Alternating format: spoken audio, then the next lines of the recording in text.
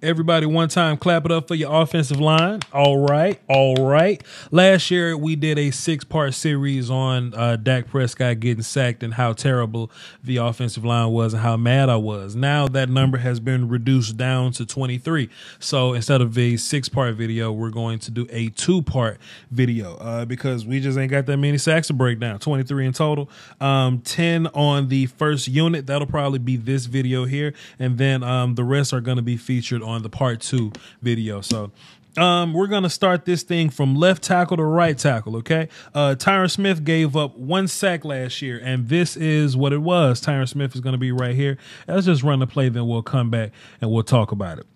Boy, Tyron got smoked right here. I hate it. It makes me sick. Somebody played Crossroads. I just died slowly. Um, but this was the only time Tyron Smith got beat. A lot of people want to call Tyron Smith that he's fallen off or whatever, but the past two years he's given up uh, the least sacks out of everybody. He's been in that in that conversation as least sacks given up. So I don't know where he's falling off at.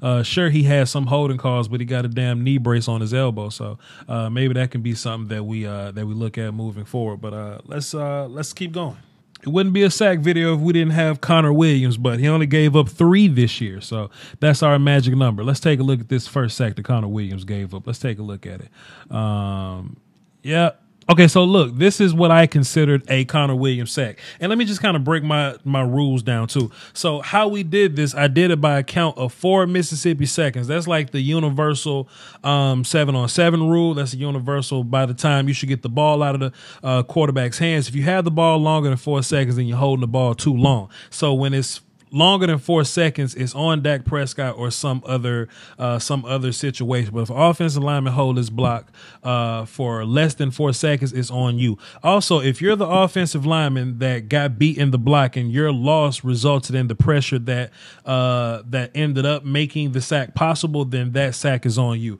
I put this on Connor Williams because I feel like it was his pressure that made Dak get antsy in the pocket and ultimately get sacked.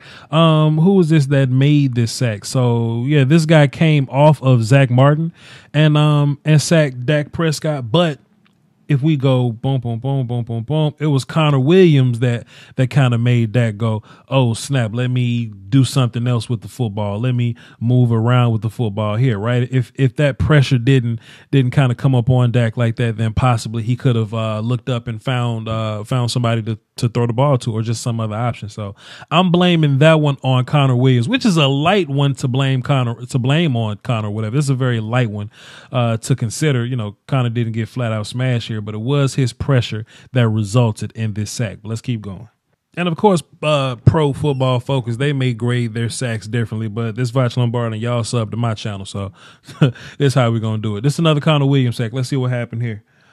Let's see what happened here to Connor Williams. Uh, yeah, Fletcher Cox is going to take him all the way back. Yep, yep. Less than four seconds. Fletcher Cox pushes him back. Get the strip sack. That's on Connor. Absolutely, no doubt about it. Let's keep watching. Let's see the the third sack on Connor. Yeah, I think this is just uh Daron Payne beating up on him here. Yeah, it's pretty bad right there young Connor Williams. But we see a lot less. Uh, we saw a lot less of this from Connor Williams. And like I said on the Twitter machine earlier, man, this is uh, going into Connor's third year, and I like to grade people on a three year basis. So if we're going into year three and Connor Williams hadn't really figured it out or hadn't really you know stopped lunging at people, uh, then yeah, we gonna we gonna we gonna uh, cross that road. We're gonna cross that road whenever we um, get there. And of course, Connor Williams' guy wasn't he didn't get the sack. Connor Williams' guy didn't get the sack, but uh, but Connor getting smoked like that uh, kind of flushed Dak out a little bit. See La'el Collins here. La'el Collins' guy get the sack. Was that Kerrigan? Kerrigan gets the sack, but if it wasn't for the pressure in Dak's face, then Dak would be fine. Like interior pressure is worse than outside pressure. You know, Dak could have stepped up somewhere, but he couldn't because, you know, Connor got smoked. So I put that one on him. Now we have two sacks for Travis Frederick. Let's take a look at the first one. Um, boom, boom, boom. Yep. pretty much, pretty much. Let's see what happened here. Uh, this guy came from B gap. Su'a-Filo just fell down. I feel you. but hey, we're not watching Su'a-Filo. We're watching uh we watching Travis Frederick. Yeah, we just got a guy crossing the face and you know, Travis just uh, didn't he didn't properly set to get his hips around. See, uh, da, da, da, yeah, Travis dropped his post foot, but he didn't put enough power into his power foot, which is his you know post foot or whatever. So yeah, Travis got taken there. Let's see the next one. My cable bill was way too high. I reached out to affordablesticks.com. They sent me a fire stick, plugged that thing into the HDMI. Now I get unlimited shows, movies, and live TV. I'm a huge sports fan, so I love League Pass, Sunday Ticket, and I get the pay per view fights for free. That's something for the whole family. You can buy a fire stick for every TV in the house and still spend less money than you would on cable. That's affordablesticks.com. There's a link in my description. You should go click it. Cut the cord, man and I got Travis down for this one too. Uh, let's watch it, and then we'll come back and talk about it. Travis starts off well here because Travis uh, actually gets help from Zack Martin, which is okay. But in terms of these gap exchanges, this is another rule. So we're looking at young Connor Williams, right? He's passing his guy over, but great job by Connor here. He's going to keep his eyes up, okay? He's going to keep his eyes up and see this guy coming around, and Connor's going to reset boom, and he's going to engage with his guy. That's fantastic. The problem is that when Connor passed over his first block, Travis was turned to his right too much, uh, so it left his his left his left hip open. He couldn't really uh, he couldn't react and adjust to it because Travis was was was just turned. You can see he was turned to his right here. And if you're a defensive lineman and you're attacking somebody's left hip and they turn to the right, of course, it's it's, it's absolutely going to be bad like that. What Travis should have done is he should have felt that he should have took this opportunity right here to sink uh to sink his left hip under this block right here. I don't recommend people dropping their post foot, but I play center and I tell centers all the time if you in the middle, you ain't got a side because you in the middle. So if you got to drop this post foot to to to if drop your uh your left foot just to get up under this uh this block right here, do what you got to do. See how Connor Williams did? Connor Williams kind of brought him over, brought him over, but when he had to adjust to the uh to the left side, he dropped his left foot. Boom, like that. See that? He dropped his left foot. It just gives him extra room to navigate, opposed to just keeping himself turned like that. But that's Travis. He only gave up two sacks this year. Let's take a look at Zack Martin. Okay, cool. So on my notes, I got Zack Martin giving up a half a sack. And, you know, we can do Segway Jones here because La'el was the other half of this sack. So um, we'll just take a look at Zack Martin and La'el Collins, your right guard and right tackle. Both both these guys kind of, um, you know, and, and and it's real tricky because we have a quarterback that scrambles around the pocket and um, he kind of, you know, he kind of ran in ran into those sacks. But my logic here, my logic here is I want La'el to actually have a to have a better hand on these guys. Like, let's take a look at um. Let's see if I can give you a better example. I can't give you a bad example. Uh, not not in this play, but at some point, I want La'el Collins to actually like punch and get hands on this dude and keep him there. Um, La'el just kind of keeps him to the outside, which ain't a terrible notion if your quarterback don't scramble. Keep guys to the outside, right? But Dak being a a quarterback that's likely to move around a bunch, right? La'el kind of left himself open by not engaging with him. If La'el Collins engages like he never does, he can control this guy. But since he's just pat, pat, pat, pat, pat, this defensive end was able to get back inside whenever he wanted to, right? La'el didn't have control. He just kept him at bay.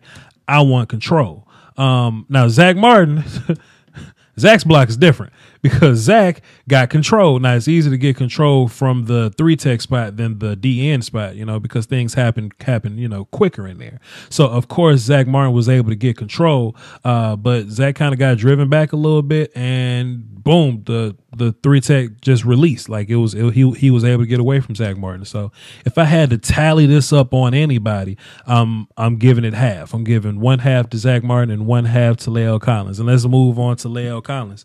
Uh, he gave up two and a half sacks this year, and I consider this to be his half. Let's watch his other two.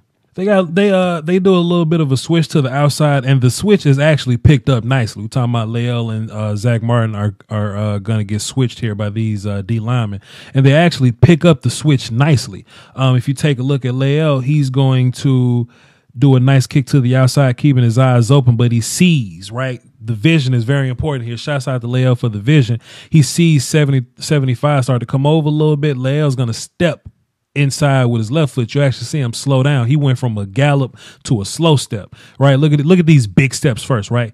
Big step, big step, but then he slows it down and gets back inside, right?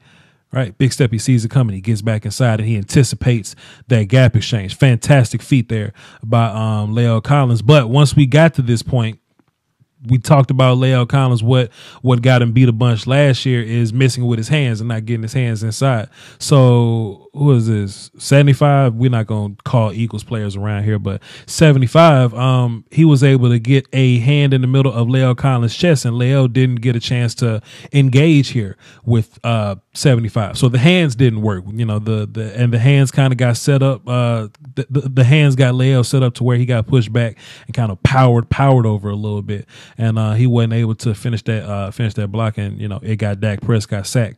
So pretty good job with the feet there. I just wanted to see a little better finish, but let's take a look at La'el's other sack. Oh boy, uh, take note, young offensive lineman. Let's take a look at La'el, but not, not, not even look at La'el because we know what we're looking for.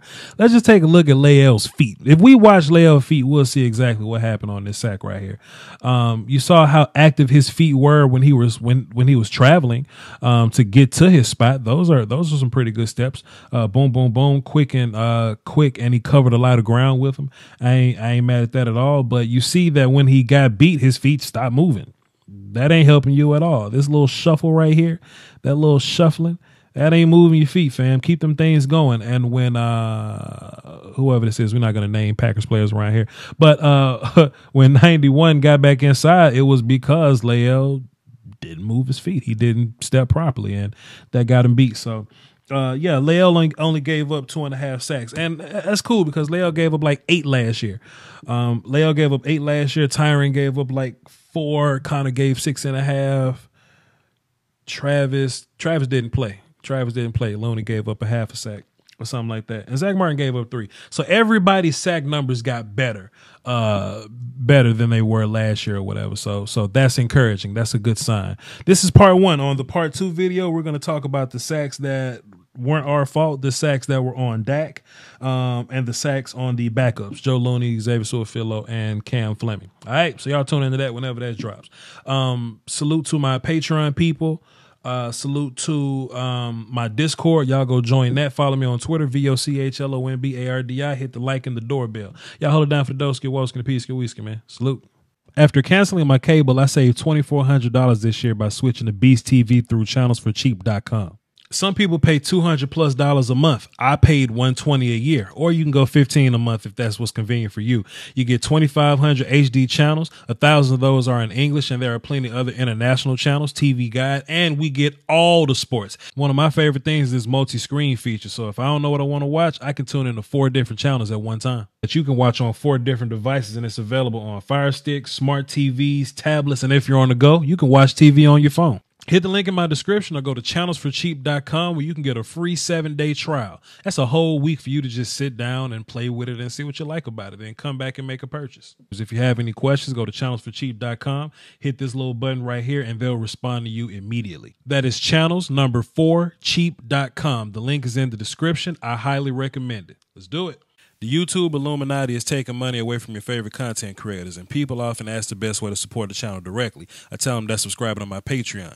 Just $1 a month would increase production and the frequency of uploads. Basically, that means more content for you. For less than a bag of almond M&Ms, you can support the channel, call dibs on requests for future videos, and you can have access to Patreon exclusive material like my throwback film sessions. That's patreon.com slash Lombardi. I appreciate the support. Doski Woski. Salute.